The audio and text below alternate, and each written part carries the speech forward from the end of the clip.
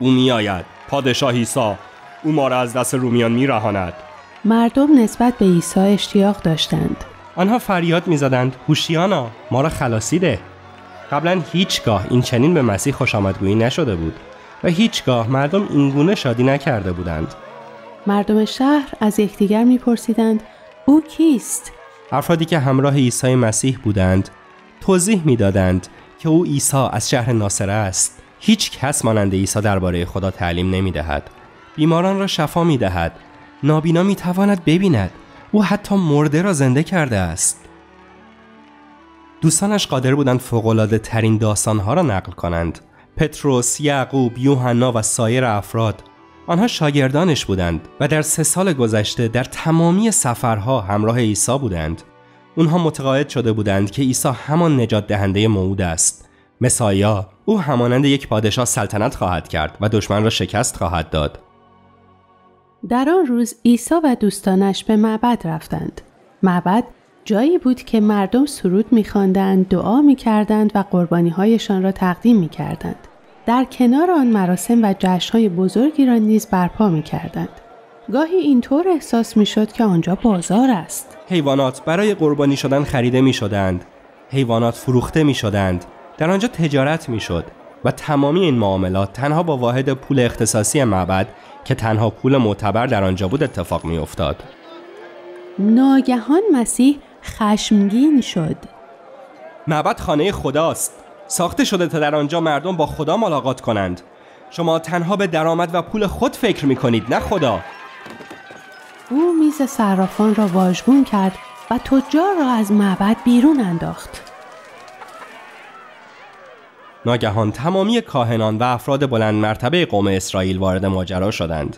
این عیسی با خودش چه فکری کرده؟ با ما طوری رفتار می کند که انگار ما شرور هستیم و به خدا بی احترامی می کردیم. او کسی است که همواره بر خلاف شریعت عمل می کند و مردم باور دارند که او نجات دهنده است و از طرف خدا آمده است. این غیر قابل تحمل است. چند روز بعد عیسی و دوستانش در اتاق بزرگی گرده هم آمدند. پتروس و یوحنا غذا را آماده کردند. شب عید پسح بود. پسح یادآور سالهای دور بود که خدا قوم را از بردگی در مصر رهانده بود. عیسی برای خوراک و نانی که برای خوردن داشتند خدا را شکر کرد. به هر یک از دوستانش تکه نان داد و گفت این نان تمثیل بدن من است که برای شما آسیب می بیند. این رسم را به یاد کاری که برای شما انجام دادم نگاه دارید.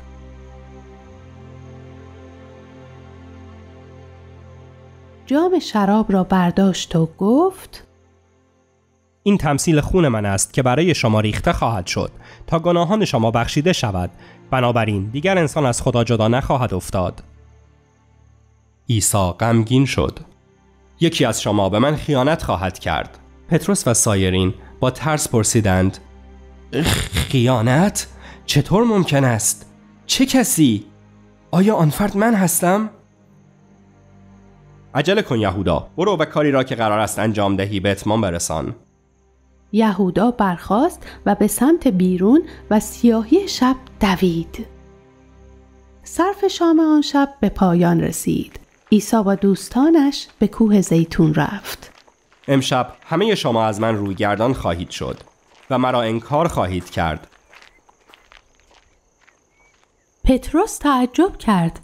این امکان ندارد. حتی اگر همه تو را انکار کنند من انکار نخواهم کرد. پتروس پیش از آنکه خروس بانگ صبح را بزند تو سه بار مرا انکار خواهی کرد.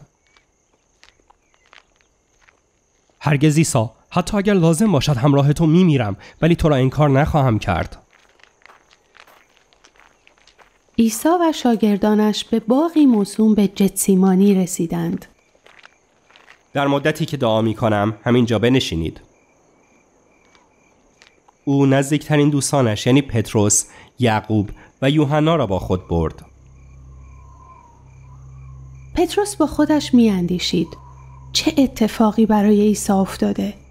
او را چه شده است؟ او میلرزد صورتش حسابی رنگ پریده شده است. دعا کنید. لطفا کنار من بمانید و مرا تنها نگذارید. عیسی از آنها دور شد و با صدای بلند دعا کرد. ابا پدر همه چیز برای تو ممکن است. اگر امکان دارد مرا از این رنج برهان. اما نه به خواست من بلکه به اراده تو. عیسی بازگشت و پتروس را بیدار کرد. آیا خوابیده ای؟ نمی توانستی یک ساعت بیدار بمانی؟ بیدار بمانی و دعا کنی؟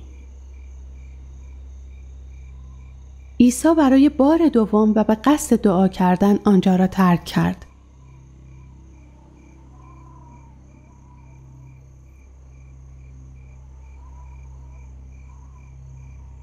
کافی است بیدار شوید نگاه کنید آن که مرا تسلیم می کند الان می آید آنها سر و صدایی شنیدند. سربازان رومی یک هنگ کامل به همراه مردانی از پلیس معبد و در جلوی همه آنها یهودا.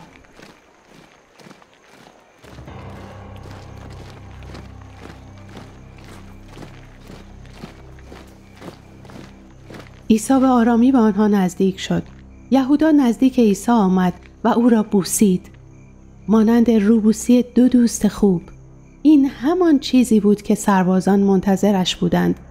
حالا آنها می دانستند چه کسی را باید دستگیر کنند. تا آن موقع دوستان عیسی نفهمیده بودند که چه اتفاقی در حال روی دادن است. سرورم آیا باید با آنها بجنگیم؟ پتروس شمشیرش را درآورد و آن را به اطراف چرخاند. او گوش یکی از مردها را برید. بس است. این همان چیزی است که قرار است اتفاق بیفتد. خدا پدر من می‌خواهد که این گونه باشد. عیسی این را گفت و فرد مجروح را شفا داد. پتروس و سایرین فرار کردند. آنها در باغ پنهان شدند. آنها ترسیده بودند. آنها عیسی را قل و زنجیر کردند و همراه خود بردند. پتروس متوجه نمی‌شد این نمی‌تواند درست باشد. اگر عیسی نجات دهنده و فرستاده خداست پس خدا باید الان کاری کند. پتروس مخفیانه به دنبال سربازان رفت. عیسی به حضور کاهن اعظم آورده شد. آنجا محل دولت یهودیان بود. تمام بزرگان یهود و قضات جمع شده بودند. اونها به دنبال شهودی بودند تا بر علیه مسیح شهادت دهد. اینکه آنچه آنها شهادت می‌دادند راست بود یا دروغ اهمیتی نداشت. برخی از شهود چیزی می‌گفتند و برخی چیز دیگر. شهادت های آنها با هم هماهنگ نبود. در نهایت کاهن اعظم کیفاست خواست بداند که اوضاع از چه قرار است. مستقیم از عیسی پرسید آیا تو همان مسیح هستی؟ همان نجات دهنده موعود خدا بله هستم. در آن هنگام کاهن اعظم لباس خود را پاره کرد و گفت همه شما کفر او را شنیدید. او خودش را پسر خدا خواند. حالا تصمیم شما چیست? همه حاضرین خشمگین شدند. او مستحق مرگ است. آنها عیسی را زدند و روی او آب دهان انداختند و او را تمسخر کردند. در این میان پتروس و یوحنا به محوطه دادگاه رسیدند. سربازان دور آتش نشسته بودند و خود را گرم می کردند. پتروس مانند همیشه شجاعانه درست کنار آنها نشست. یک زن سال خورده نزدیک آمد و به صورت پتروس خیره شد. تو هم با آن ناصری عیسی بودی اصلا نمی‌دانم چه می‌گویی. راجبه چه چیزی صحبت می‌کنی؟ پتروس نگران شد و به نزدیکی دروازه رفت. دوباره یک نفر گفت تو را می‌شناسم تو با عیسی بودی پتروس با اصرار گفت به هیچ وجه من نیستم. اندکی بعد ولی من مطمئن هستم که تو را با او دیدم. من این مردی را که می‌گویی اصلا نمی‌شناسم. و بلافاصله خروس بانگ زد. عیسی برگشت و مستقیم به چشمهای پتروس خیره شد. وای نه خروس. همانطور که عیسی قبلا به او گفته بود وای خدای من چه کار کردم؟ من چه کار کردم؟ پتروس گریه کرد و بیرون رفت. او آنچه را که برای عیسی بعد از آن اتفاق افتاد از زبان یوحنا و دیگران شنید.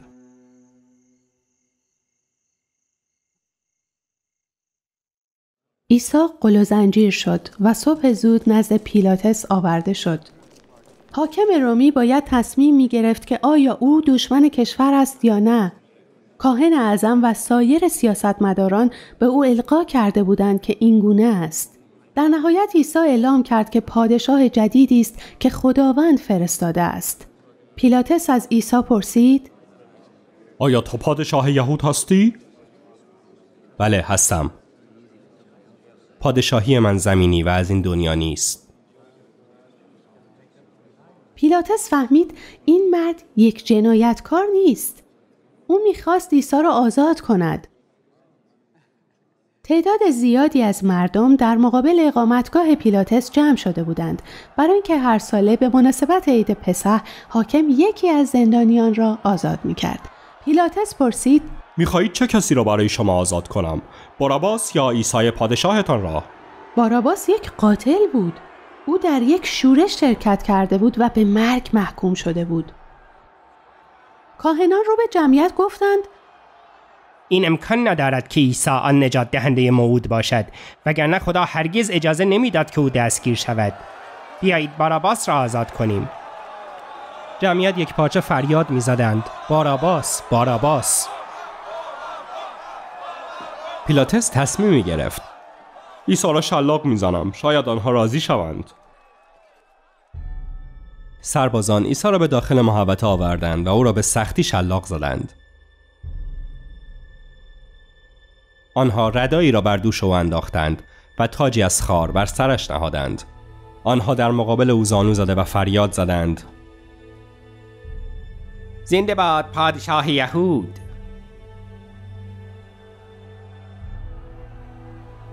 پیلاتس دوباره عیسی را در مقابل جمعیت آورد.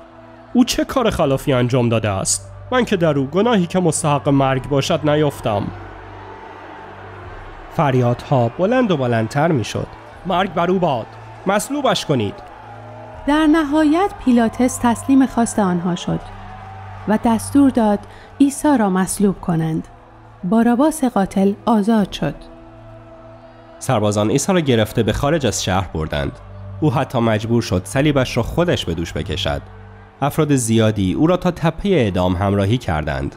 نام این تپه جلجتا بود.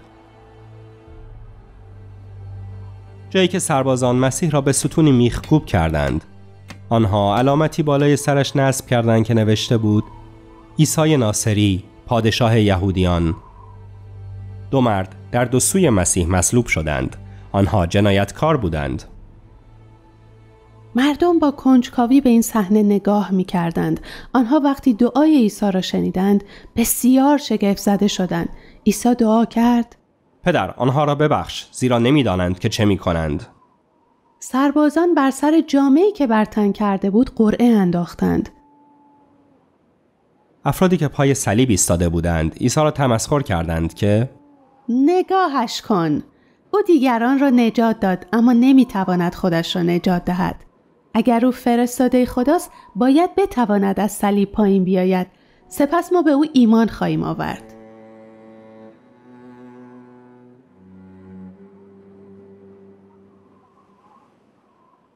شاگردان عیسی غمگین و ناامید از دور شاهد این ماجرا بودند. زنهای زیادی نیز حضور داشتند. مریم مادر عیسی مادر یوحنا و یعقوب مریم مجدلیه و سایرین. در هنگام ظهر در تمامی زمین تاریکی شد و سه ساعت به طول انجامید. تمامی افرادی که آنجا ایستاده بودند شنیدند که عیسی با گریه بلند گفت خدای من خدای من چرا مرا تنها گذاشتی؟ زمین لرزید نه تنها سربازان بلکه همه وحشت زده شدند عیسی می‌دانست اکنون که همه کارهایی که خدا از او خواسته بود را انجام داده بود فریاد برآورد تمام شد و سپس مرد. آیا این به نوعی گریه شوق نبود؟ سربازان متحیر شده بودند. آنها تا به حال ندیده بودند که کسی اینگونه بر صلیب جان بدهد. یک افسر رومی گفت این مرد حقیقتا فرزند خدا بود. وقتی که شب فرا رسید یوسف اهل رامه نزد پیلاتس رفت او فردی معتبر و صاحب منصب بود. او به طور مخفیانه به عیسی ایمان داشت. او می‌خواست عیسی را دفن کند و پیلاتس جسد را به او تحویل داد. او جسد عیسی را در کفنی پیچید و در مقبره ای که به تازگی در دل سنگ تراشیده شده بود قرار داد. سپس سنگ بزرگی را بر در آن قلتاند. همه چیز تمام شد. عیسی مرده بود. زنان و مردانی که شاگردانش بودند غمگین شده بودند. آیا مگر او مسایا و نجات دهنده موعود نبود؟ آیا ما توسط عیسی فریفته شده بودیم؟ آنها به سرعت به خانه هایشان بازگشتند. دو روز بعد یک شنبه شد. اول صبح تصمیم گرفتند که سر مقبره بروند. آنها با خودشان روغن و حنا برده بودند تا جسد عیسی را تطهین کنند. آنها از یکدیگر میپرسیدند چه کسی سنگ را برایمان از در مقبره کنار خواهد زد؟ اما چه اتفاقی افتاده بود؟ آنها نمی توانستند چیزی را که می‌دیدند باور کنند. سنگ از در مقبره کنار زده شده بود. آنها با عجله به داخل مقبره رفتند. دو مرد در آنجا با لباسهایی که میدرخشید نشسته بودند. آنها فرشته بودند. فرشتگان به آنها گفتند نگران نشوید. شما به دنبال عیسی که مصلوب شد می گردید. او اینجا نیست. بروید و این خبر را به دوستانتان هم بدهید که عیسی از مرگ قیام کرده است و دوباره زنده شده است. زنها سردرگم شده بودند از مقبره بیرون دویدند. آنها خیلی ترسیده بودند. عیسی رفته بود. مقبره خالی بود. زنها نفس زنان به شاگردان رسیدند. ما فرشتگانی دیدیم و آنها به ما گفتند عیسی از مرگ قیام کرده است. شما هزیان می‌گویید. اما زنها همچنان سعی داشتند آنها را قانع کنند. این چیزی بود که فرشتگان به ما گفتند. پتروس و یوحنا خواستند که با چشم خود ببینند بنابراین به سمت مقبره دویدند عیسی واقعا آنجا نبود. پارچه کفن تنها چیزی بود که در آنجا باقی مانده بود. هر دو شاگرد غرق تفکر به خانه هایشان بازگشتند. در این میان مریم مجدلیه دوباره به مقبره بازگشته بود او نمی توانست بفهمد او گریه می کرد و خم شد تا داخل مقبره را ببیند دو فرشته از او پرسیدند چرا گریه می کنی؟ آنها سرور مرا بردند و نمی‌دانم او را کجا گذاشتند مریم مجدلیه چرخید مردی در مقابل او ایستاده بود و پرسید چرا گریه می کنی؟ به دنبال چه کسی می گردی؟ فکر کرد که باغبان است او گفت آیا تو او را جابجا کرده ای؟ مریم در همان لحظه مریم مطمئن شد. او عیسی مسیح بود. شادمانه به پاهایش افتاد. استاد! اینجا پیش من نمان. در عوض برو و به دوستانت بگو من نزد پدرم و پدر شما صعود می کنم نزد خدایم و خدای شما. هنگام غروب تمامی دوستان مسیح در خانه‌ای با یکدیگر ملاقات کردند. از ترس دستگیر شدن و به زندان افتادن تمام درها را قفل کرده بودند. آنها با هیجان درباره اتفاقات آن روز صحبت می کردند. پتروس نیز در این بین عیسی را دیده بود. دو مرد به آنجا آمدند و به آنها گفتند در راه خود به امواس مردی با ما همراه بود. او در طول راه با ما صحبت کرد و به ما توضیح داد که چرا عیسی می بایست بر صلیب می مرد وقتی که به خانه رسیدیم او سر میز غذا با ما همراه شد. او نان را گرفت و شکر گذاری کرد. آن را تکه کرد و به ما داد. آنگاه بود که فهمیدیم او خود عیسی است در حالی که آنها همچنان مشغول گفتگو درباره این موضوع بودند عیسی در بین آنها ایستاد و گفت صلح و سلامتی با شما باد. وقتی که عیسی جای زخمهای میخای صلیب را به آنها نشان داد فهمیدند که این واقعا خود عیسی است. سپس او نوشته کتاب مقدس درباره مسایا را به آنها توضیح داد. حقیقت برای پتروس و سایر شاگردان آشکار شد. مسایا نجات دهنده موعود میبایست به خاطر همه اشتباهات و گناهان و تمامی شرارت هایی که انسانها در طول زندگیشان مرتکب می شدند رنج می کشید کشته می شد و بعد از سه روز از مردگان قیام می کرد این اراده خدا بود و چیزی بود که افراد در طی قرنها در کتاب مقدس می خواندند. سپس عیسی به آنها یک مأموریت داد همانطور که پدرم مرا فرستاد من هم شما را میفرستم. نزد ملت ها بروید و خبر خوش نجات را موعظه کنید. هر کس که ایمان بیاورد و از گناهان خیش توبه کند بخشیده خواهد شد. شاگردان از شادی سر از پا نمی شناختند خداوند او را از مردگان برخیزانده است. این حقیقت داشت. عیسی یک منجی که از طرف خدا فرستاده شده بود. این حقیقتی است که همه باید آن را بدانند.